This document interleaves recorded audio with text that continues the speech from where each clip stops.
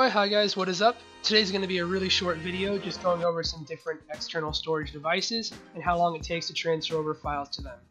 Now we're messing with 28.2 gigabytes worth of video footage and starting off with the USB 3.0 you can clearly see it takes forever where it takes over 10 minutes to transfer over the files.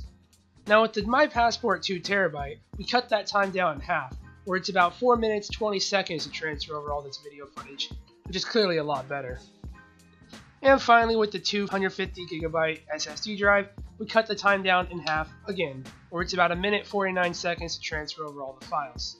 Now, at the end of the day, it really comes down to what you need. Um, if you're going to be working with a lot of video footage or a lot of big files, then at least get an external HDD drive if you already have one of those, or a lot of space on your hard drive on your computer, then get an SSD drive where you can just transfer over the files over time. But hopefully this video offered some insight or information or helped you make up your mind about what you wanted to get. Have a nice day.